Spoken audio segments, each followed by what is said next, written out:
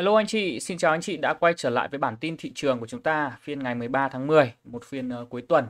Thì hôm nay là một phiên giao dịch khá cảm xúc khi mà thị trường của chúng ta có những cái nhịp rung lắc rất là mạnh trong phiên, nhưng cuối phiên lại kéo cực mạnh lên và thị trường đóng cửa tăng 3 điểm với một cái cây nến khá là đẹp như này. Thì tính cả phiên ngày hôm nay thì thị trường của chúng ta nếu mà từ điểm thấp nhất thì phải tăng khoảng tụ tầm 15 điểm Đúng không ạ? Cái trạng thái thị trường ngày hôm nay, đó là cái trạng thái xanh vỏ đỏ lòng. Khi mà thị trường thì xanh, nhưng mà có tới 274 mã đỏ mà chỉ có 192 mã tăng thôi. Thì cái điều này nó có đáng ngại hay không thì theo em đánh giá. Ngày hôm nay thì dòng tiền nó tập trung vào một số những cái nhóm cổ phiếu như nhóm bất động sản, đúng không ạ hoặc là nhóm bất động sản khu công nghiệp và một số nhóm khác thì ờ, đây là những cái ờ, nhóm mà được dòng tiền nó tham gia một cách chủ động vậy nên là ờ, những cái mã ở trong nhóm đấy thì tăng khá là mạnh còn những cái nhóm khác thì nó không tăng quá nhiều đúng không ạ? À, nó vẫn còn đỏ. Vậy nên là những cái uh, những cái độ phân bổ dòng tiền với 274 mã đỏ này em đánh giá là một điều bình thường anh chị nhá. Đấy, thì chúng ta có thể thấy được rằng là ngày hôm nay uh, thì cái thanh khoản nó cũng xem xem so với ngày hôm qua. Nước ngoài vẫn tiếp tục bán nhưng mà uh, cái thanh khoản bán nó cũng giảm đi rồi và chủ yếu tập trung vào mã MWG thì mã này ngày hôm nay thì cũng được dòng tiền vào nâng đỡ rất tốt khi mà nước ngoài bán. Nhưng mà có dòng tiền vào đỡ lại và vẫn đóng cửa xanh thì cái trạng thái này em đánh giá là một cái trạng thái nó bình thường và nó vẫn vận động xem xem giống như thị trường mà thôi. Thì uh, ngày hôm nay uh, về một cái nến tuần đúng không hôm nay kết tuần thì là một cái nến tuần cũng khá là đẹp với thị trường. Khi mà đã có 4 tuần giảm và một tuần thị trường có cái sự hồi phục trở lại. Thanh khoản thì chắc chắn rồi nó sẽ không thể cao được bởi vì ở đây là một cái vùng khá là rằng co cũng như là nhiều nhà đầu tư họ không dám tham gia ở cái khu vực này. Thì vậy với cái việc mà thị trường có một tuần đóng cửa khá là đẹp như này thì trong tuần sau, thị trường của chúng ta nó sẽ vận động theo cái kịch bản như thế nào? Và những anh chị nào chúng ta chưa kịp mua bán trong cái phiên ngày hôm nay thì sang tuần chúng ta liệu có mua được không? Và anh chị tập trung vào nhóm ngành nào thì tất cả sẽ có trong video của em hôm, ngày hôm nay, anh chị ha. Ok, thì đầu tiên chúng ta cũng sẽ cùng dành 5 10 phút đi để ờ, review qua thị trường cũng như là thống kê lại những cái nhận định và những cái điểm mua ngày hôm nay của chúng ta. Kèm theo đó là đánh giá những cái tin tức nó có ảnh hưởng ờ, trong những cái phiên ngày hôm trước. Ok thì ờ, ngày hôm qua là một cái phiên điều chỉnh khá là bình thường của thị trường và chúng ta cũng đã cùng phân tích với nhau ở cái vùng nến 1 giờ. Đó là thị trường của chúng ta nó sẽ tiếp cận đâu đó về cái vùng 1138 đến 1140 thì thị trường của chúng ta rất có thể sẽ bật lại ở đây. Thì ngày hôm nay thị trường của chúng ta nó đi đúng cái kịch bản đấy, đúng không ạ? Đi đúng cái kịch bản đấy và em cũng có uh, em cũng có đưa ra kịch bản này ở trong video tối ngày hôm qua, tức là cái video này. Rung lắc tại cản điều chỉnh tích cực và nhóm cổ phiếu cần chú ý.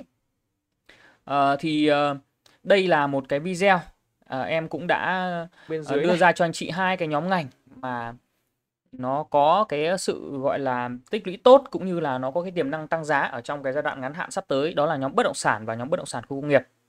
Đây, thì ngày hôm qua thì em cũng có vẽ cái hỗ trợ này. Cái hỗ trợ này chính là cái cái này. Đúng không? Hỗ trợ 1140 này. Đây ở cái video này. Và sau về đây thì nó sẽ có cái sự bật lên. Đó thì cũng mở lại cho anh chị xem một chút là cái cái, cái tham minh của chúng ta uh, khi mà chúng ta mua cổ phiếu ở trong cái giai đoạn này là như thế nào. Thì anh chị uh, xem lại một chút nhá. Đây thì là cái tham minh là chiều chiều thứ thứ năm hoặc là sáng thứ sáu. Đấy là có thể là mua được. Đấy.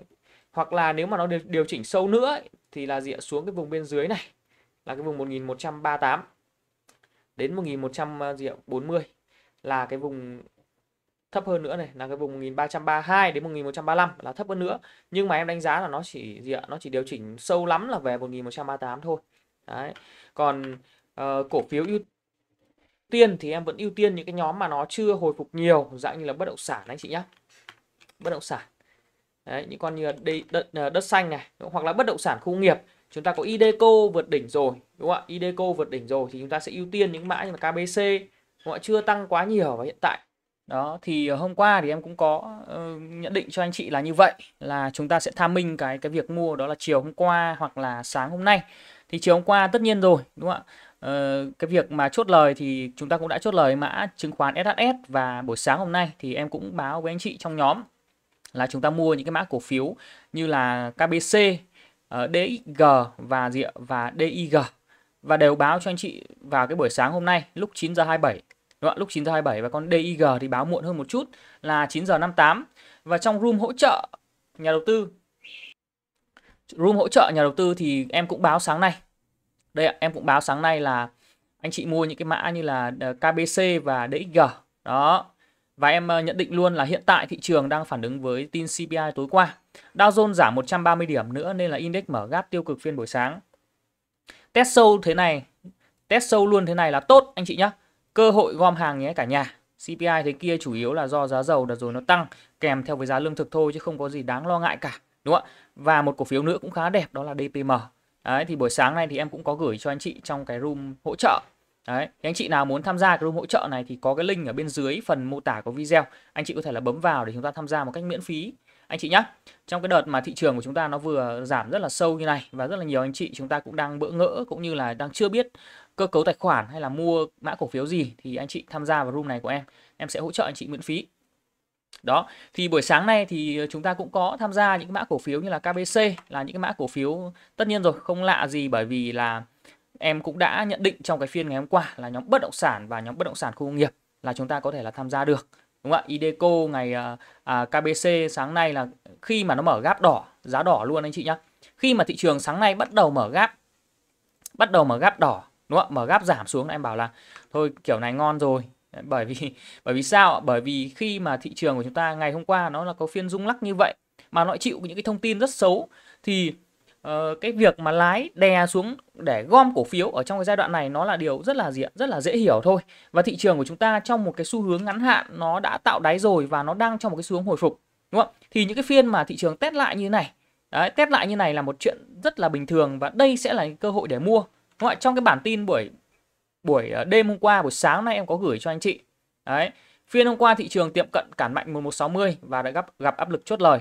Tối qua chỉ số CPI Mỹ tháng này ra, con số này tăng cao hơn một chút so với dự báo của giới đầu tư. Chỉ số CPI cho thấy giá của các loại hàng hóa và dịch vụ trên thị trường tăng lên nhưng chủ yếu là do giá năng lượng và lương thực.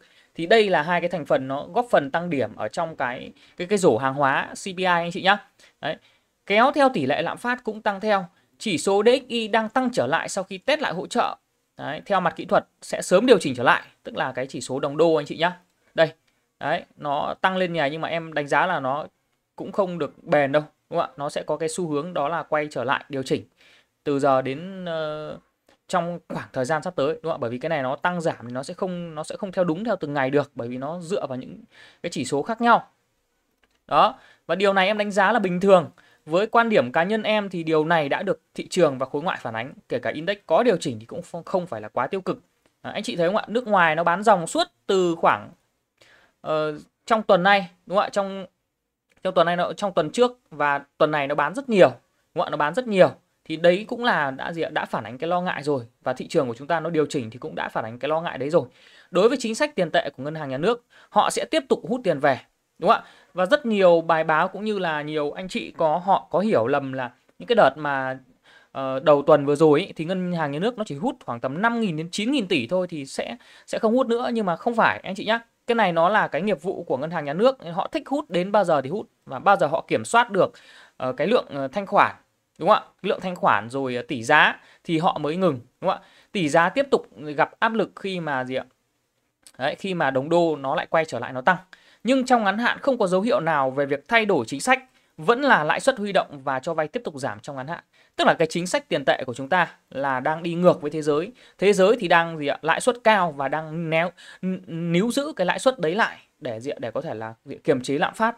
Nhưng gì ạ? Nước ta lại gì ạ? Lại giảm lãi suất để có thể là kích thích cái uh, kích thích cái um, cái nền kinh tế.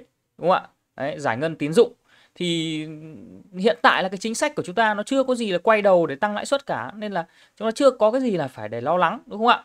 Phiên hôm qua chúng ta cũng đã chốt bớt nhóm chứng khoán. Nhóm này nay có thể là mua lại khi điều chỉnh. Đấy, ví dụ như là hôm qua chúng ta chốt SHS đúng không ạ? Chốt SHS ở vùng 18.4. Đây hôm qua nó cao nhất là 18.5 anh chị nhé. Thì em báo anh chị chốt là gì ạ? Chốt ở 18.4 ngày hôm qua. Đây. Anh chị chốt lời 50% SHS mua hôm thứ hai. Đấy, đây ở cái vùng 18.4 luôn anh chị nhé. Vùng giá cao nhất, gần như là cao nhất luôn. Đấy thì hôm nay anh chị hoàn toàn là có thể mua lại được lúc mà mà nó rung lắc buổi sáng thì chúng ta đã có khoảng tầm vài phần trăm ở trong phiên rồi, đúng không ạ? Nếu mà anh chị giao dịch tốt nhưng mà em không khuyến nghị anh chị mua nữa và chúng ta vẫn đang cầm hàng con này. Con này nó vẫn còn dư địa hồi nên là em chỉ báo anh chị là chúng ta chốt trước một nửa thôi. Đó, và ờ, các nhóm cổ phiếu chưa vượt đỉnh có hiệu suất tốt đúng không ạ? FT à các nhóm cổ phiếu vượt đỉnh chưa cho thấy hiệu suất tốt như FTS hay là DCM, vượt đỉnh có dấu hiệu bị bán ngược lại và chững lại. Thì anh chị có thể thấy được rằng là như con DCM đúng không ạ? Khi mà nó vượt đỉnh rồi. Đấy. Nếu mà anh chị mua ở trong cái vùng này ấy, thì nó cũng chỉ đang đi ngang ở đây thôi. Đúng không? Nó đang đi ngang nó chưa có gì bứt phá cả và nó cần tích lũy và vôn nó cần siết ngược trở lại, siết bé lại. Đấy thì lúc đấy là hoàn toàn là có thể mở mua mới. Hay là FTS hôm qua vượt đỉnh phát bị bán cụt đầu, đúng không? Ngày hôm nay vẫn ngoi lên nhưng mà nó vẫn chỉ là gì ạ? Chỉ là đi ngang ở tại cản. Đấy, và cổ phiếu thì không bao giờ chúng ta mua ở tại cản cả anh chị nhá. Nên là em sẽ không khuyến nghị bởi vì những cái điểm mua vượt đỉnh nó đang chưa cho thấy hiệu suất tốt nên là chưa mua. Đó. Nhịp này xác định mua mới với kỳ vọng không quá dài, chỉ 3 đến 5 đến 7%. Có những cái giai đoạn thị trường tốt sẽ target xa, còn giai đoạn thị trường giảm nhiều thì đi kèm với cản thì sẽ sẽ cần tích lũy lâu hơn. Ở phiên nay nếu điều chỉnh sẽ là cơ hội gom mua cổ phiếu ở bên dưới và những cái nhóm cổ phiếu bên dưới đấy nó sẽ chưa có nhịp hồi phục đủ mạnh như là đất xanh, kinh bắc, EGC hay DPM. Điểm mua em sẽ điểm chi tiết trong phiên nếu xuất hiện. Thì vừa em vừa gửi lúc 9 giờ xong đúng không ạ? Thì thị trường 9 giờ 15 mở gap down. Đấy, cổ phiếu mở gap down hết và thì em cũng đã khuyến nghị luôn cho anh chị là chúng ta mua luôn vào buổi sáng giá đỏ đúng không ạ? Cứ giá đỏ mua chứ không không mua giá xanh anh chị nhá. Đó, 17.5 đến 17.7 đối với đất xanh này, đúng không ạ? Và buổi chiều nay thì đất xanh nó mới lại đích nó còn diện nó còn nhúng về những cái vùng giá bên dưới rất nhiều lần. Đây ạ. Đất xanh nó còn nhúng về rất nhiều lần buổi chiều mà nó còn nhúng về 17.35 mà, đúng không ạ? Nó còn nhúng về thấp hơn nữa mà hoàn toàn là có thể mua được. Đấy, thì hôm nay thì, thì hôm nay nó có cái dòng tiền vào khá là tốt. Em đánh giá đánh giá vào khá là tốt. Tuy là nó có thể là hồi chậm hơn những con bất động sản khu nghiệp nhưng nó vẫn có thể là cho chúng ta cái tỷ suất lợi nhuận ở trong cái thời điểm hiện tại. Em đánh giá là tốt. Anh chị em đánh giá là tốt và chúng ta mua cái giá đỏ sáng nay ở bên dưới này, đúng không ạ? 17.5 tức là cái vùng này. Cái vùng giá đỏ hoặc là kinh Bắc, đúng không ạ? Kinh Bắc chúng ta cũng mua cái vùng giá đỏ lúc mà cổ phiếu mở gáp buổi sáng này. Thì hôm nay Kinh Bắc nó đã đóng cửa trên cả MA50 và MA20, tức là cái đường màu tím và cái đường màu cam này. À, giá đóng cửa trung bình của 20 phiên và 50 phiên thì đánh em đánh giá đây là một cái trạng thái rất tốt của cổ phiếu Kinh Bắc. Kèm theo đó volume vào mạnh, đúng không ạ? Có những cái lúc mà Kinh Bắc ở trong phiên của chúng ta nó trùng xuống như này và gặp lực bán rất lớn. Nhưng buổi chiều khi lượng tiền nó quay trở lại thì nó cũng đẩy cổ phiếu này lên với một cái thanh khoản tốt chứ không phải là không tốt. Đấy, thanh khoản này là cao đấy chứ anh chị nhá. Thanh khoản này là đạt yêu cầu. Đó, còn DIG thì hơi yếu hơn một tí nhưng vẫn lãi. Đúng không ạ? Chúng ta mua ngày hôm nay chúng ta mua vẫn lãi. À, khi mà DIG em điểm cho anh chị là chúng ta mua gì ạ? 23 đến 23.4 thì hôm nay nó đóng 23.7. Thì con này nó sẽ yếu hơn đất xanh một chút thôi. Đúng không ạ? Hôm qua nó xanh như này nó khỏe đấy nhưng hôm nay có thể là nó yếu hơn và nó gặp lực bán. Nhưng gì ạ? Khi mà nó hồi gì ạ? Nó hồi yếu như này thì không phải là nó không hồi được tiếp mà nó hồi sẽ nó sẽ lâu hơn một chút thôi. Đấy, anh chị chỉ cần kiên nhẫn với những cái mã này là có lãi. Anh chị nhá chỉ cần kiên nhẫn là có lãi thôi không không cần quá là nóng vội đâu. Đó thì tập trung chủ yếu ngày hôm nay đúng không ạ? Vẫn là bất động sản và bất động sản khu công nghiệp kèm theo cái sự hồi phục kỹ thuật của chứng khoán. Ở bất động sản chúng ta có sự dẫn dắt của PDR rất tốt khi mà cổ phiếu này ngày hôm qua nó đã định bật tăng rồi nhưng mà nó gặp thị trường điều chỉnh. Điều chỉnh xong gì ạ điều chỉnh xong thì ngày hôm nay chắc chắn rồi nó sẽ phải bung hết sức của nó tiếp ra để nó nó, nó tăng bù cho ngày hôm qua. Đấy, nhưng tại sao em lại không lựa chọn PDR? À, ờ, vì cổ phiếu này thứ nhất là nó đã tăng đến gần cản rồi anh chị nhá. Tăng đến gần cản rồi thì khả năng ngày mai ấy, khả năng ngày thứ hai ấy, nó sẽ vượt đỉnh, đúng không ạ? Nó sẽ vượt đỉnh nhưng vượt đỉnh này sẽ là cái điểm bán đối với em.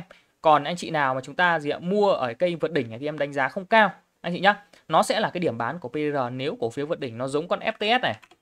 Đúng không? Vượt đỉnh vượt đỉnh bị bán ngược trở lại này thì đây sẽ là điểm bán của chúng ta. Và khi nào gì ạ? nó điều chỉnh lại thì chúng ta sẽ mua lại với cổ phiếu PDR này. Đấy, trừ khi gì ạ nó điều chỉnh lại thôi chứ nó không điều chỉnh và nó vượt đỉnh luôn thì đấy sẽ không phải là điểm mua. Anh chị không nên mua hưng phấn và mua giá xanh ở trong cái thời điểm hiện tại. Anh chị nhá. Đấy. Và chúng ta còn có cái sự ủng hộ của một blue chip trong nhóm bất động sản đúng không? Khang Điền. Đây ạ, Khang Điền hôm nay tăng tím. Rất tốt luôn. Khang Điền hôm nay tăng tím rất tốt và uh, khi mà những cái mã cổ phiếu mà nó có bất động sản nhà ở như Khang Điền và PDR này nó tăng này trong cái thời điểm hiện tại này thì những cái mã cổ phiếu bất động sản khác ấy, như là đất DXS này, DG này hay là DIG nó cũng sẽ được gì ăn theo. Ăn theo anh chị nhá. Nhịp này là bất động sản nhà ở lít đó là PDR và Khang Điền cũng như là Nam Long. Đúng không ạ? Những mã bất động sản nhà ở thì con Nam Long nó gì ạ? Nó tăng sau thì con này nếu mà chỉnh lại là vẫn có thể là mua được với con này. Đúng không ạ? Đấy. Còn anh chị nào mà chúng ta đã mua đất xanh và đích rồi thì chúng ta cứ cầm thôi, đúng không ạ? Chúng ta cầm thôi. Nếu mà mua hôm nay thì em đánh giá là gì ạ? Là sẽ ngồi ung dung được đúng không ạ? Chúng ta sẽ có cái vị thế nó khá là ung dung. Ờ, khi mà tuần sau đúng không ạ? Tuần sau nó sẽ là gì ạ? Nó sẽ là phiên đáo hạn phái sinh anh chị nhá. Tuần sau là là gì ạ? Là đáo hạn phái sinh. Đây ạ. Nó là gì ạ? Ngày bao nhiêu? Ngày ờ, uh, 19 đúng không ạ? Ngày 19 tháng 10 đấy thứ năm của tuần thứ ba trong tháng sẽ là đáo hạn phái sinh. Thì khả năng trước đáo hạn phái sinh thị trường của chúng ta nó sẽ kéo đúng không ạ? Nó sẽ kéo. Và gì ạ? Bắt đầu, gì ạ? Đến gần đáo hạn phái sinh như là thứ tư nó sẽ gặp cái sự chững lại. Và thứ năm gì ạ? Thì nó sẽ có cái sự đó là biến động rất mạnh khi mà đáo hạn phái sinh. Và thứ sáu, cơ cấu quỹ nữa. Nên nếu anh chị mua trong cái phiên ngày hôm nay, chiều chiều thứ sáu này, sáng thứ sáu này, hoặc là sáng thứ hai chúng ta mua sớm, thì em đánh giá là cái vị thế nó vẫn khá là an toàn. Còn nếu mà chúng ta để sang tận thứ ba hay là thứ tư chúng ta mới mua, thì em đánh giá là nó sẽ có cái sự rủi ro về cái mặt T cộng anh chị nhé về cái mặt T cộng. Đó.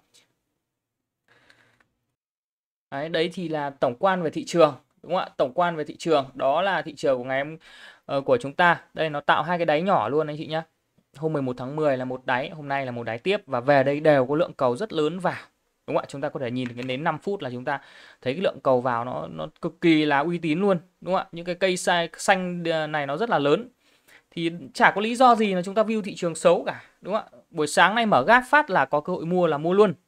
Đó, quyết đoán mua luôn, anh chị nhá. Thì hiện tại là xu hướng thị trường sắp tới là em đánh giá là nó sẽ vượt cái đường MA20 tức là cái đường màu đỏ này này, đường màu cam này này. Sau đó nó mới có cái sự điều chỉnh trở lại và nó cũng khá phù hợp với cái kịch bản là tuần sau đáo hạn phái sinh. Đấy, thì cái vùng cản tiếp theo của thị trường đó là vùng 1165 đến vùng 1170 là cái vùng cản mà thị trường nó khả năng nó cũng sẽ có cái sự điều chỉnh trở lại. Đấy, và càng lên cao thì nó điều chỉnh nó sẽ càng nhiều anh chị nhé. Có thể là nó sẽ mất 1 đến 2 phiên điều chỉnh chứ nó không phải giống như là điều chỉnh trong phiên như thế này đâu. Đấy nên lúc đấy thì chúng ta sẽ cần phải càng kiên nhẫn hơn nữa để có thể là chờ điểm mua của cổ phiếu. Đấy, ngày hôm nay đây này, thị trường nghiệp vụ thị trường thị, thị trường mở đây này, hút 20.000 tỷ đúng không ạ? 8 trên 9 thành viên trúng thầu kỳ hạn 28 ngày. Tức là cái thanh khoản ở bên ngoài còn cực kỳ là dồi dào. Ngân hàng hút thoải mái, đúng không ạ? Ngân hàng nhà nước hút của ngân hàng thương mại thoải mái. Đấy, ngân hàng thương mại thì nó cứ đấu thầu như này thôi để nó lấy lãi thôi, nó gửi tiền vào thôi. Đấy, nên là anh chị đừng có lo lắng là thanh khoản thị trường chứng khoán nó bị ảnh hưởng, đúng không ạ? Nó, nó không bị ảnh hưởng bởi vì tiền còn rất nhiều. Đấy, tiền còn rất nhiều anh chị nhé Và các nhóm ngành mà anh chị chú ý thì vẫn là gì ạ? Vẫn là bất động sản và bất động sản khu công nghiệp. Khi đây là đều là những cái nhóm ngành mà nó có những cái uh, những những cái uh, uh, sự hồi phục nó chưa nhiều so với những nhóm khác. Đúng không ạ? Bất động sản đây, anh chị có thể chú ý Nam Long, đúng không ạ? Đây hoặc là Sell. Đấy, hoặc là gì ạ? Những con như Novaland khi mà nó ở thấp như này thì hàng này là hàng mạo hiểm thì anh chị chơi thì chơi, còn em cũng không khuyến nghị anh chị nhá. Ờ, còn nhìn nó thì là mua được đấy nhìn nó là mua được đấy nhưng mà chúng ta vẫn cần những cái sự lựa chọn an toàn đúng không ạ những cái mã cổ phiếu hàng hiệu như là DXG rất nhiều quỹ cầm đó QCG thì thôi hàng penny đúng không ạ? Rất là đầu cơ. Và bất động sản khu nghiệp chúng ta có KBC test lại là mua được đúng không ạ? Chúng ta có SZC Đấy, gần đỉnh rồi thì thôi. Hoặc là con EGC này này có thể mua được này đúng không ạ? Chưa hồi phục nhiều đâu nhưng em vẫn đánh giá cao là KBC còn cao nhất thì là Ideco rồi đúng không là SZC rồi đấy là những cái con mà nó gần đến đỉnh và vượt đỉnh rồi. Có con Ideco này nó tăng trước rồi thì những con KBC kiểu gì nó cũng sẽ tăng sau. Anh chị nhá kiểu gì nó cũng sẽ bò lên sau nên là sáng nay mới bảo anh chị là mua KBC đó. Đó bất động sản công nghiệp vốn FDI thì rất dồi dào. Không phải lo gì câu chuyện của bọn này ở trong những cái cái gì ạ những cái thời gian sắp tới cả. Đấy. À, về còn về cái việc ngày hôm nay mà thị trường mã đỏ nhiều hơn thì uh, có thể anh chị nhìn này ví dụ như là nhóm ờ, thép này chúng ta có HPG hay là gì ạ hoa sen hay là nam kim đóng nến vẫn xanh đúng không ạ? Nhưng mà hoa sen này đóng nến vẫn xanh nhưng mà nó vẫn ở dưới cái giá đóng cửa ngày hôm qua thì nó vẫn đỏ là chuyện bình thường nên là hôm nay nhiều mã đỏ là chuyện bình thường. Nhưng đa số là đều hồi phục. Đó anh chị thấy không? Nhưng anh chị thấy tại sao lại không chọn thép? Bởi vì cái thời điểm này thép nó khá yếu cái dòng tiền anh chị nhìn này thanh khoản rất là thấp. Đúng không thanh khoản rất là thấp nó không gì ạ nó không thể hồi phục mạnh mẽ được. Dạng như nam kim thì nó khỏe hơn nó khỏe hơn ờ, uh, HSG đấy bởi vì là những cái con nam kim này gì ạ? Uh, hoặc là những con như là VGS này này đấy, cái cái cái tiền nó đánh những cái con này nó sẽ dễ chịu hơn và dễ đánh hơn những cái con HPG HPG ví dụ anh anh chị cầm trăm tỷ đánh thì anh chị đánh những cái con như là nam kim, hoa sen hay là gì ạ VGS nó chân luôn. Nó chân cứng luôn. Đấy, mà trong khi đó thị trường thanh khoản rất là thấp như này. Thì lấy đâu ra 100 tỷ để ông đánh con Hòa Phát, rồi ông đánh con MWG hay là ông đánh những cái con blue chip khác? Đúng không? Nó phải nó phải cho những con mid cap này nó chạy chứ đúng không? Nên là tập trung vào mid cap thôi, vốn hóa vừa vào nhỏ anh chị nhá. Và anh chị chú ý là tuần sau là đáo hạn phái sinh đấy. Nên là có mua thì ờ, mua muộn, muộn nhất là nên mua sáng thứ hai anh chị nhá. Còn sang thứ ba thứ tư thì em cũng không chắc đâu. Đấy, còn anh chị nào mà chúng ta uh, chưa có những cái điểm mua trong cái thời điểm hiện tại thì anh chị uh, có thể là bấm vào cái link ở bên dưới phần mô tả video để em có một cái room hỗ trợ ở đây đúng không ạ? Có một cái room hỗ trợ ở đây và em cũng sẽ có những cái nhận định và những cái điểm mua điểm bán cho anh chị. Đấy những cái điểm mua điểm bán cho anh chị. Hoàn toàn miễn phí anh chị nhá. Trong cái giai đoạn mà thị trường đang hồi phục như này thì um, em mở ra cái room hỗ trợ này và em hướng dẫn anh chị chơi ở trong cái giai đoạn, giai đoạn này với những cái mã cổ phiếu nào và cái dấu hiệu thị trường nó điều chỉnh hay là nó nó xuất hiện điểm mua như nào để sau này chúng ta có gặp những cái diện những cái trường hợp mà thị trường nó như này đi chăng nữa. Thì diện thì chúng ta vẫn có cách để ứng phó đúng không ạ chúng ta không hoảng loạn và chúng ta có kiến thức để chúng ta có thể là vận hành cái danh mục của mình. Đó. Đấy, xem nào à, ngân hàng này ngân hàng thì uh, khá là chậm nên là em không ưu tiên. Hôm trước thì uh, có soi con OCB này nhưng mà nó yếu quá không điểm cho anh chị được. Không điểm cho anh chị được nó hơi yếu đúng không con này nó đánh hơi bo cung. Đấy, hơi bo cung nhưng mà một khi nó tăng thì nó tăng rất ác. Đấy. TP Bank này hôm nay cũng gì nhỉ hôm nay cũng mua được này. Con này hôm nay cũng mua được này. Cũng là thuộc dạng hồi phục từ đáy lên này. Và thanh khoản bắt đầu gia tăng tức là dòng tiền nó bắt đầu vào này. Đấy. giá đỏ của những, những cái phiên sau là hoàn toàn là có thể mua được đối với TP Bank anh chị nhá. MBB này thì con này cũng được nhưng mà nó rơi không quá mạnh nên là em sợ nó hồi không được quá nhiều. Vietcombank này thì trụ rồi thôi không chơi này. HD Bank đấy rất khỏe kéo đỉnh. MSB này SHB này. Đấy, thôi ngân hàng thì thôi anh chị ạ. Ngân hàng không không không chơi thời điểm này. Dầu khí này PVC PVT PVS vẫn rất khỏe đúng không ạ? Vẫn rất khỏe nhóm này rất khỏe. Khỏe khỏe như này thì không có điểm vào đâu. Điện này à điện anh chị có thể là chú ý nhá. Con PC1 nó đã tăng mạnh như này thì anh chị có thể chú ý con GEG nhá. Đấy, có thể chú ý con GEG con này thì nó đang vận động test cung ở đây đang vận động test cung ở đây. Và những con này thì nến trông nến của nó trông nó sẽ hơi khó chịu anh chị nhé nến sẽ trông hơi khó chịu. Đấy, nhưng mà nếu mà anh chị nào thích điện thì có thể tham khảo GEG nó cũng đi ngang ở đây với thanh khoản nó siết lại rồi liên tục test cung. Có thể là mua với một cái nhịp T cộng được. Gách này gách cũng được này. Đấy, gách cũng được này. Gách cũng được nhá. Chứng khoán thì có VIX cũng được nhá. Đấy, con này thì nó hơi đầu cơ một tí đánh nó hơi khó chịu một tí. Nhưng mà anh chị nào thích T cộng vẫn còn con này có thể là mua được còn SSI thì nó cao rồi đúng không ạ? Target gần đỉnh rồi. Mua nó cũng sẽ hơi nặng đúng không ạ? Tiền đánh con này nó hơi nặng. SHS cũng vậy cũng có điểm mua. Đúng không ạ? Cũng có điểm mua.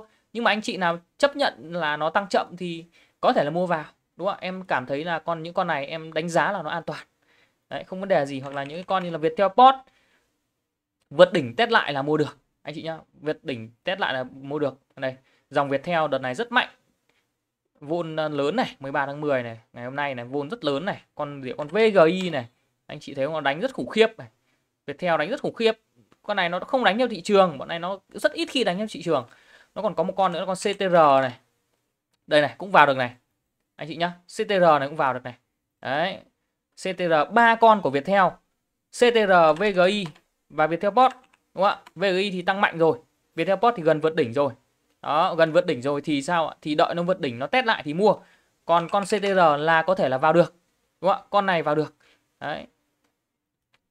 Con này vào được, anh chị nhá. Con này riêng đội Viettel đánh thôi chứ ừ, con này nó đánh không gì ạ, không theo thị trường mấy đâu, đúng không? Không theo thị trường mấy đâu. Đó. Và hiện tại thì nó đang gặp một cái cản chéo ở đây. Một cái cản chéo đây.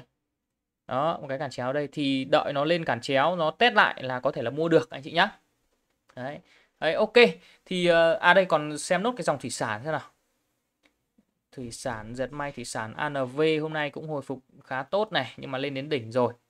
Đợi tích lũy lại. View dệt may này, hôm nay cũng hồi tốt này, thanh khoản vào tốt này. Nói chung là cái nhóm xuất khẩu ờ, này thì vẫn ok, đúng không? bởi vì đô la nó vẫn cao nên là nhóm này nó vẫn được hưởng lợi. Nhưng mà nó đã tăng ở trong cái thời gian mà thị trường điều chỉnh rồi, nên là bây giờ em không muốn pick những cái nhóm này nữa. IDI này xem cảng biển nào. GMD này. Gmd thì chỉnh 3 phiên hồi một phiên. Chuyện bình thường nhưng mà trên cao rồi thì thôi. HAH này cũng vậy trên cao rồi thì thôi. Đúng không ạ? Mua những cái bọn uh, bất động sản khu công nghiệp này còn hơn nhiều anh chị ạ. KBC này đúng không ạ? EGC này. Đấy. Ok, thì đấy là những cái nhận định của em uh, về thị trường tuần này. Và chúng ta uh, tất cả những cái nhận định đấy chúng ta cũng đã có trong những cái series video rồi, đúng không ạ? Những cái series video của tuần trước. Đó, điều chỉnh tiếp diễn tăng này, đấy là những cái phiên điều chỉnh rất tích cực của thị trường thôi. Em đánh giá là điều chỉnh để nó tiếp diễn tăng, đúng không? Và nhóm cổ phiếu còn điểm mua là video ngày hôm kia này, cũng ờ, điểm cho anh chị bất động sản và bất động sản khu công nghiệp này. Ngày hôm qua thì cũng tiếp tục điểm.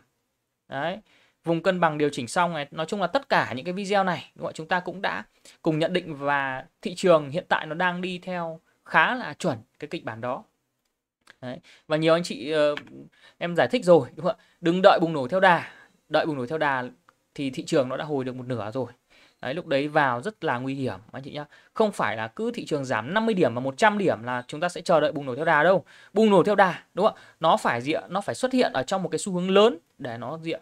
đây này ví dụ những cái những cái trường hợp này này sau khi gì ạ, thị trường đi ngang và điều chỉnh này nó xuất hiện những cái phiên bùng nổ theo đà này đấy bùng nổ ví dụ như ngày 24 tháng 8 này thanh khoản cao hơn so với những cái phiên ngày hôm trước đây 24 tháng 8 nhá là ngày này thì đây là một phiên bùng nổ theo đà. Đấy, đây là một phiên bùng nổ theo đà. Thì sau khi bùng nổ theo đà thì nó sẽ gì ạ? Nó sẽ tiếp diễn một cái xu hướng một chen rất dài đúng không một chen rất dài. Đấy một chen rất dài ở đằng sau. Còn gì ạ? Hiện tại khi mà thị trường của chúng ta đúng không ạ? Nó vẫn đang gì ạ? Nó vẫn đang đã có một cái chen rồi và đây là nó là một cái sự điều chỉnh. Đúng không ạ? Điều chỉnh thì hiện tại thị trường phải cần vượt qua những cái gì ạ? Những cái vùng kháng cự ở trên này đã thì lúc đấy chúng ta mới mới tính tiếp bởi vì chúng ta đánh chúng ta phải nhìn chen đúng không ạ? Hiện tại là thị trường của chúng ta nó đang ở trong một cái chen uh, ờ, ngắn hạn là một cái chen giảm như này đúng không ạ? Thì hiện tại nó đang là một cái thời gian gì thời gian đảo chen và khi nào nó tiếp tục một cái chen tăng ấy và có bùng nổ ấy thì lúc đấy anh chị mua thoải mái đúng không ạ? Chứ còn bây giờ anh chị mua vượt đỉnh xem đúng không ạ? Ví dụ bây giờ anh chị mua vượt đỉnh xem ví dụ như DCM chúng ta mua cây vượt đỉnh này xem đúng không ạ? Hàng về cũng không lãi quá nhiều. Đấy hoặc FTS chúng ta mua cái phiên ngày hôm qua vượt đỉnh xem. Đấy nó vẫn rất là rủi ro đúng không ạ nó rất là rủi ro nó bị dội lại thì chứng tỏ là gì ạ cái phương pháp đánh vượt đỉnh ở trong cái thời điểm này nó chưa có tác dụng quá nhiều Đấy, chúng ta nên mua những cái thời điểm mà cổ phiếu test lại và chưa tăng nhiều anh chị nhé. Ok, thì em ờ, đấy là cái nhận định của em về thị trường ở trong tuần này. Sang tuần sau thì khả năng vào thứ hai, thứ ba thì thị trường vẫn sẽ tiếp tục hồi thôi. Và thứ tư, thứ năm gần đáo hạn phái sinh rồi khả năng thị trường sẽ có cái sự rung lắc nên là anh chị hãy cẩn trọng trong những cái những nhịp tây cộng. Còn những anh chị nào đang kẹt hàng, đúng không? đang, vẫn đang kẹt hàng nhịp trước. Thì anh chị hãy cứ yên tâm và giữ hàng. Thị trường nó hồi như này thì chúng ta sẽ bán được những cái nhịp tốt, được được những giá tốt hơn. Đúng không ạ? Ví dụ như là cái đợt trước, thị trường mà nó giảm những cái cây mở gáp khủng khiếp như này. Ngày ba mười này rất nhiều anh chị hỏi em là, em ơi xem không báo bán đi? Đấy, báo bán đi. Và bây giờ thị trường của của của nó, của chúng ta nó đang có cái dấu hiệu dấu hiệu tạo đáy rồi. Đúng không ạ? Đang dấu hiệu tạo đáy và giảm ba nhịp rồi. Đúng không ạ? Một này, hai này. Đúng không ạ? Và đây là nhịp thứ ba đấy, MACD đến giờ nó phân kỳ rồi. Thì bây giờ em bảo anh chị bán thì có khi đúng đáy. Đúng, không? đúng đáy. Thì anh chị phải thông cảm một chút như thế là gì ạ? khi mà chúng ta đã xác định là chúng ta chưa bán ở cái vùng trên này thì xuống đây chúng ta cần chờ cơ hội tạo đáy để chúng ta một là chết đinh tê không mua mua sáng bán chiều mua trong lúc mà nó giảm bán lúc nó tăng. Đấy thì gì ạ? Thì chúng ta sẽ được ừ, những cái giá nó tốt hơn chúng ta đỡ lỗ hơn đấy hoặc là ở chúng ta chờ thị trường hồi lên như này đúng không ạ? Khi mà thị, thị, thị trường chưa có dấu hiệu đảo chiều này chúng ta chờ hồi thì chúng ta vẫn bán được cái giá tốt hơn. Đó. Đấy ok. Đấy thì em có một cái room hỗ trợ này anh chị nhá. Chúng ta anh chị nào chúng ta muốn vào room hỗ trợ để đồng hành cùng em ở trong cái nhịp này thì anh chị có thể là bấm vào cái link ở bên dưới cái phần mô tả của video. Là cái phần này này. Đây anh chị này cái phần mô tả này. Đấy đây cái phần mô tả này em cũng có một cái link ở đây này thì anh chị bấm vào đây này để có thể là vào cái room hỗ trợ thì em sẽ hỗ trợ anh chị ở trong cái giai đoạn này anh chị nhá đó ok thì uh, Video nhận định thị trường của em đến đây là kết thúc và cũng xin cảm ơn anh chị đã dành thời gian ra xem video. Anh chị nếu yêu quý em và có cùng chiến lược uh, đầu tư với em Minh thì có thể là về làm khách hàng của em Minh bằng ba cách. Cách thứ nhất là mở tài khoản VPS gắn ID L358 và cái nắp giao dịch, cái NAV giao dịch của chúng ta sẽ phải tối thiểu là 30 triệu. Và anh chị nào, chúng ta đã có tài khoản VPS rồi thì có thể là chuyển ID quản lý sang ID L358 của em Minh anh chị nhé.